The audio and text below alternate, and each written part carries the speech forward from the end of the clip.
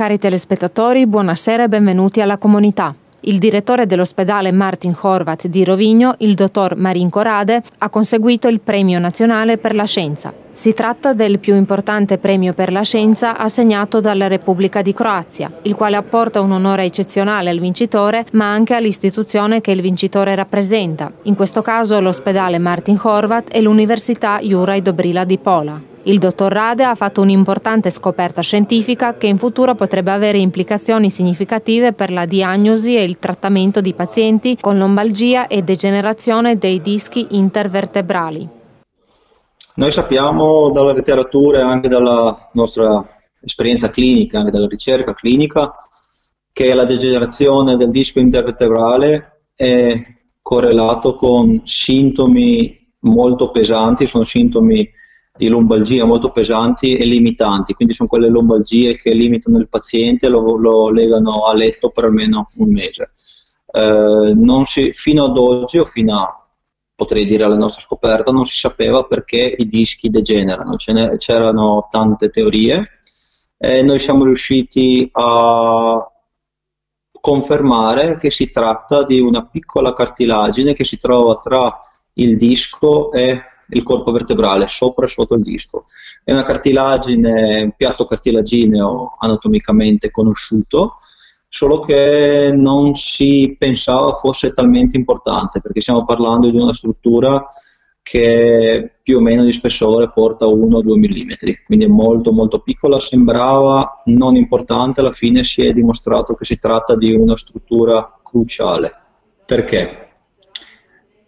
Perché da lì comincia tutto. Non so quanto tempo abbiamo, però posso, posso spiegare in uh, linee veramente brevi. Eh, più che altro si scompensano eh, le pressioni interne per le pressioni esterne all'interno del nucleo uh, del disco intervertebrale. Eh, in, si scompensano anche i, me- i, meccanismi nutritivi. Si scompensa tutta l'omeostasi del, del nucleo del disco intervertebrale e il nucleo del disco intervertebrale è la parte più erorata del disco, la parte più vitale del disco intervertebrale, è la parte che degenera prima.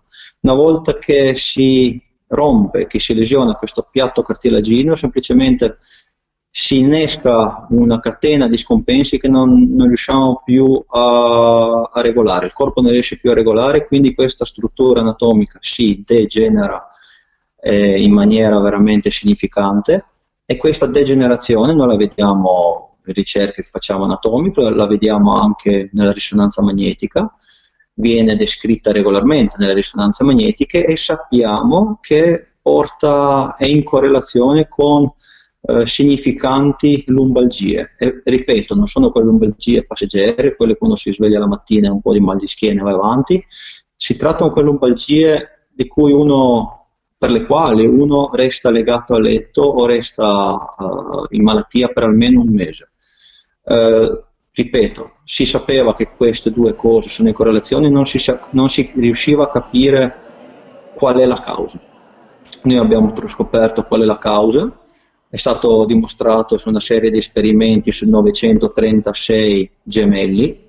Questi esperimenti, bisogna dirlo, dirlo sono stati fatti a Londra, al King's College of London, eh, purtroppo non abbiamo questi meccanismi, questi laboratori eh, a Rovigno in Croazia, però l'abbiamo fatto in una, in una, all'interno di un team eh, di esperti che arrivavano dalla Finlandia, dove lavoro anch'io come ricercatore responsabile per la ricerca, Londra, Israele e Croazia, quindi noi. Eh, è una ricerca importante, una ricerca che apre tutta una nuova strada di terapie, perché una volta che riusciamo a trovare la struttura anatomica e il meccanismo che vogliamo riparare, allora in quel momento si, poss- si possono inventare tutta una marea di terapie ed, è, adesso questo è quello che stiamo facendo noi, ma stanno facendo decine di team di ricercatori intorno al mondo, che è importante. Il premio è stato assegnato su suggerimento dell'Università Polese, dove Rade insegna. Gli studenti dell'Università di Pola hanno il privilegio di imparare da uno dei migliori scienziati del mondo. Non so quanto i miei studenti considerano un privilegio lavorare con me, perché io insegno metodologia della ricerca, è un molto, è un collegio molto interessante, devo dire la verità, è molto pesante E devo dire la verità che la mentalità in Croazia è ancora abbastanza, è, è poco orientata verso la ricerca. Le persone pensano, gli studenti pensano, almeno queste generazioni ancora presenti all'università, che la ricerca è una cosa lontana, una cosa che lo fanno chissà dove al mondo, una cosa che non è importante.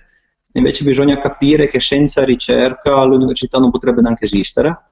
E non ha senso, non ha senso eh, iniziare una professione qualsiasi senza l'idea di voler spostare eh, i limiti di questa professione perché se no saremmo rimasti ancora alla medicina egizia, se nessuno si sarebbe mai messo in testa di scoprire nuove cose, migliorare le cose esistenti e testare in maniera critica. Il mio collegio uh, porta, richiede un gran sapere della matematica, di modelli matematici applicati alla medicina, però richiede soprattutto uh, autocritica, perché bisogna ammettere spesso che delle cose non sono parte della nostra conoscenza. Più che altro eh, bisogna, imparare, bisogna imparare a pensare in maniera diversa. Bisogna essere obiettivi, bisogna, bisogna non essere soggettivi, bisogna saper ammettere che, quali sono i risultati da considerare e quali sono i risultati da eh, semplicemente eliminare, anche se sarebbero convenienti per, non so, il nostro credo o il nostro, um, la nostra volontà. So. È un collegio, secondo me, ripeto, molto interessante. Eh, alcuni studenti si divertono, altri meno. Oltre ad essere docente universitario e direttore dell'ospedale rovignese, Rade lavora anche all'estero. Beh, sono ricercatore clinico al King's College of London al Dipartimento di, di Epidemiologia Genetica, sono responsabile per la ricerca al Dipartimento di, di Riabilitazione al Kuopio University Hospital, questo in Finlandia, l'azienda universitaria che, che, copre la parte est della, della Finlandia. Eh, il budget di ricerca che gestiamo là è più o meno 3,5 milioni di euro all'anno, quindi è molto più di un budget che eh, di un'istituzione croata, sicuramente, e in più insegno, insegno in altre università, alcune in, in Slovenia, alcune in, in Austria, però i miei, i miei, compiti principali sono qua in Croazia, a Rovigno all'ospedale di ortopedia e riabilitazione e a Pola alla, alla nostra università. Insomma, tante ricerche e tanto lavoro che portano a risultati importantissimi per l'intera società. Il docente Rade è un esempio da seguire e lancia ai suoi studenti e anche a quelli futuri un appello importante. Fate quello che volete, fate quello che amate e non state, non, state, no, non credete a quelli che vogliono limitarvi. Non saprete e nessuno può mai sapere cosa vi aspetterà e cosa vi aspetterà nel futuro, gran parte del futuro lo costruite voi e se vi piace fare qualcosa, se vi piace fare ricercatore, fate ricercatore e riuscirete. Voi ve lo dico con tutto il cuore, eh, vi sorprenderete a vedere quanti ricercatori non abili fanno ricercatori, quindi stiamo aspettando persone capaci, persone che hanno voglia e sono sicuro che tra di voi ce ne sono tanti, quindi fatevi avanti e ecco, non dubitate di voi stessi mai.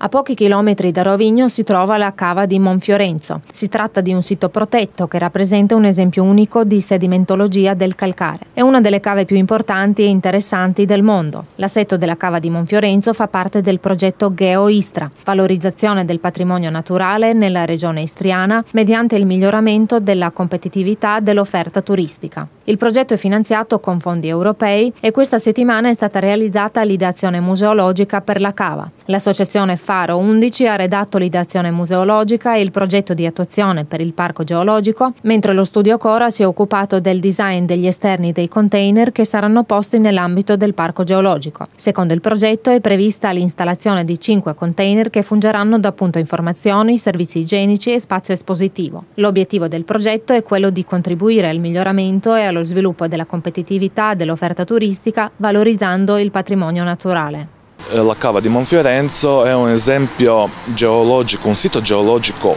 unico nel mondo che rappresenta eh, la eh, sedimentologia eh, nelle lagune poco profonde che esistevano nell'era del Cretaceo, significa fine giurassico dopo l'era dei, dei dinosauri. Significa un, un milione, 145 milioni di anni fa. Uh, oggi questo sito geologico viene conservato dall'entità pubblica Natura Istrica e dalla città di Rovigno. E non solo conservato, viene anche utilizzato per il turismo grazie al progetto GeoIstria. Quali sono le caratteristiche di questo sito geologico? Questo è un sito, possiamo dire a punto, che si trova vicino a Rovigno, dove prima una settantina di anni hanno cominciato a fare dei scavi eh, per l'esplotazione della roccia che si trova lì. Però dopo i scavi iniziali hanno capito che non c'è una ragione economica per continuare le scavazioni e così hanno finito di scavare. Però i, i geologici croati eh, facevano dei studi lì fino a che si facevano gli scavi hanno capito l'importanza di questo sito geologico. E già negli anni 70 uh, hanno fatto le prime ricerche e i primi lavori scientifici. Uh, nel 2020 si sono fatte le ricerche geologiche non solo del sito di Fantasia ma anche di tutta l'area di Rovigno come un sito che rappresenta la sedimentologia mondiale qua in Croazia da noi. È un sito molto importante per la eh, scienza della geologia. Questo sito si è formato prima 145 milioni di anni fa, quando il territorio istriano si trovava sotto il livello marino nelle lagune che erano poco profonde, come i Bahami al giorno d'oggi. Queste lagune, come si chiama, eh, cambiavano le maree, erano o asciutte o bagnate come si cambia, cambiavano le maree, così anche l'acqua portava o i fanghi o le sabbie. Per questo oggi abbiamo dei strati più eh, chiari o più scuri nella cava di Monfiorenzo. Un, quel strato più scuro rappresenta il fango, quello più eh, chiaro rappresenta la sabbia che si eh, sedimentava su questi posti. Il patrimonio naturale finora inutilizzato sarà così messo in funzione per generare nuovi contenuti ed esperienze turistiche. La cava presto diventerà un'attrazione turistica. Però non solo turistica per i turisti, ma anche con carattere, carattere, carattere eh, educativo, perché questo lavoro si fa più di tutto per gli studenti di geologia, per la popolazione di Rovigno che non è a conoscenza di che ricchezza hanno lì, geologica pensiamo. Ancora dobbiamo dire che l'Istria intera è un sito geologico reale, grande e importante, perché oggi in Istria non abbiamo solo la cava di eh, Monfiorenzo come sito protetto, però esistono anche le isole di Brioni dove abbiamo i resti di dinosauri come le impronte, eh, la punta di Camagnac dove ci sono anche le impronte, o il sito Datule Barbariga dove abbiamo i resti fossilizzati di ossa di dinosauri, che è l'unico sito in Europa tale, nell'Europa mediterranea. Il fenomeno della cava di Monfiorenzo è stato riconosciuto da uno dei massimi esperti nel campo, lo scienziato Josip Tischler. Fino al giorno d'oggi è lo scienziato che ha dato il massimo di sé per riconoscere questo sito non solo nelle, nella regione istriana o croata, ma anche nell'intero mondo. Lui collaborava con tanti scienziati nei dintorni, possiamo dire, europei, anche mondiali, che gli hanno scritto tante lettere di incoraggiamento, possiamo dire, per la protezione di questo sito. E questo sito geologico è protetto dal 1986 e come tale ogni anno è più riconosciuto nel mondo come sito geologico in Istria che ha importanza internazionale, possiamo dire anche mondiale.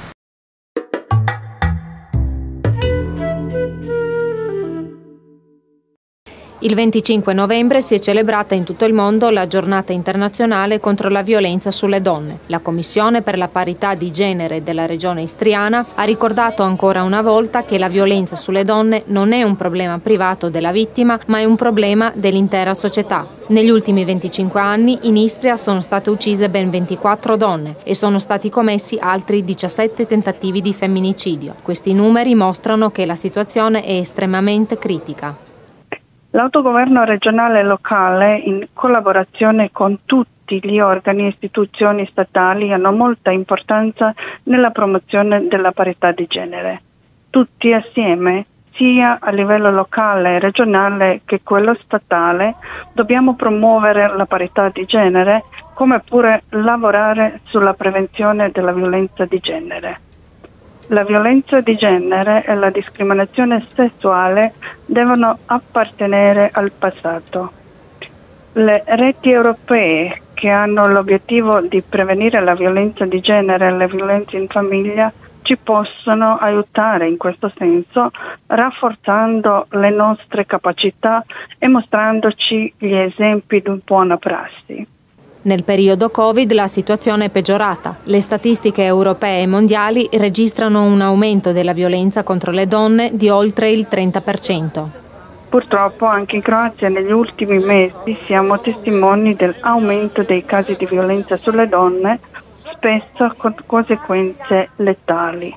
A differenza della maggior parte dei paesi europei, la Croazia non ha realizzato dei protocolli speciali e delle procedure per aiutare le vittime della violenza in famiglia ai tempi della pandemia di Covid-19. La nostra Commissione ha perciò inviato agli organi statali un'iniziativa per la realizzazione di protocolli di questo genere.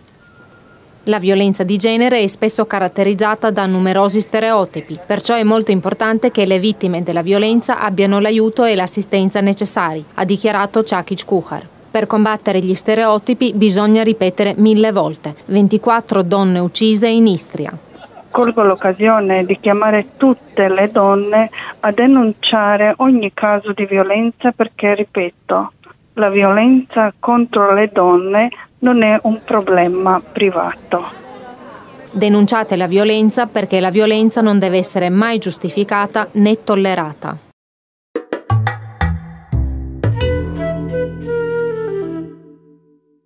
A Cittànova è stato firmato il contratto per i lavori nell'ambito del progetto Miglioramento del sistema di drenaggio e trattamento delle acque reflue negli agglomerati Umago, Salvore e Cittànova. Il contratto è stato concluso tra i titolari del progetto, la società Scesti Mai Odvodnia Umago e la comunità degli offerenti guidata dalla società Hydro Engineering. Il contratto del valore di quasi 250 milioni di cune prevede la costruzione di un impianto di trattamento delle acque reflue a Umago assieme a una strada di accesso e l'ampliamento dell'impianto di depurazione depurazione esistente a Cittanova. Con questo progetto l'attuale impianto di trattamento delle acque reflue a Cittanova verrà aggiornato al cosiddetto grado biologico di purificazione. È un progetto che darà eh, un ulteriore eh, beneficio eh, alla tutela della natura.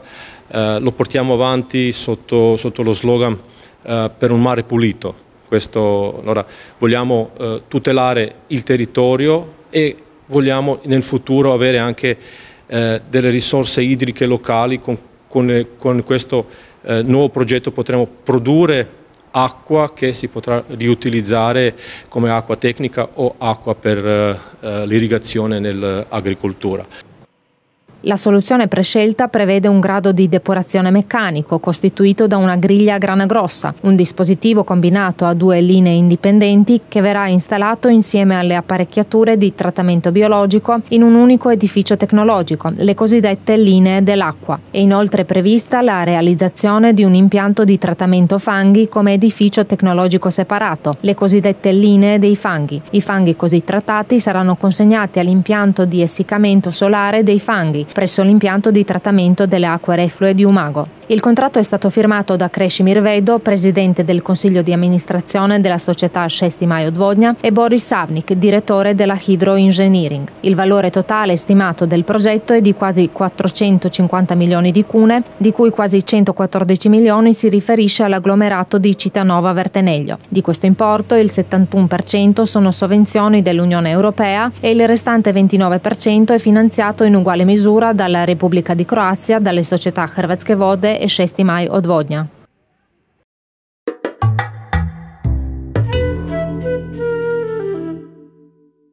La città di Dignano ha indetto il bando pubblico per l'assegnazione dei mezzi per sviluppo dell'imprenditoria nel territorio della città di Dignano.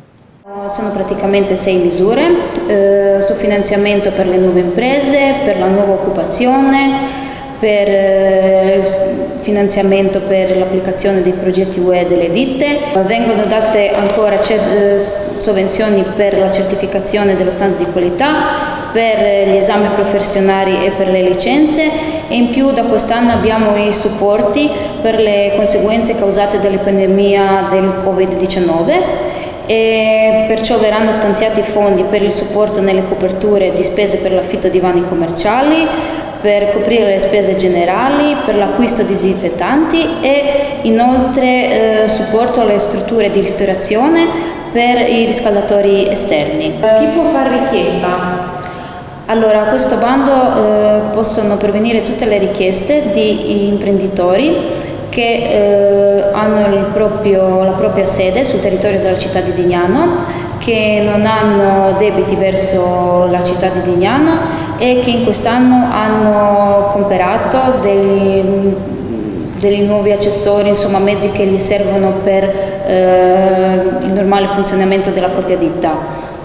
Uh, ogni misura ha le proprie regole, quindi bisogna che uh, ogni imprenditore che pensa di uh, partecipare a questo bando deve leggerlo e il bando è stato bandito anche sulla nostra pagina web e lì ci sono tutte le informazioni necessarie. Quest'anno il bando è stato appena bandito, mentre negli anni scorsi avevamo il bando veniva diciamo, bandito in primavera e durava fino alla fine dell'anno e per lo più erano richieste per quanto riguarda i start-up, cioè le nuove imprese, i quali richiedevano mezzi per l'apertura delle start-up, per eh, mezzi che servono per il funzionamento della nuova ditta e veniva, diciamo che delle, dei fondi che erano stati previsti nel bilancio veniva un 50% veniva stanziato. Le domande devono pervenire entro il 15 dicembre. Cari telespettatori, siamo giunti alla fine della comunità. Ci vediamo sabato prossimo alle 16.30.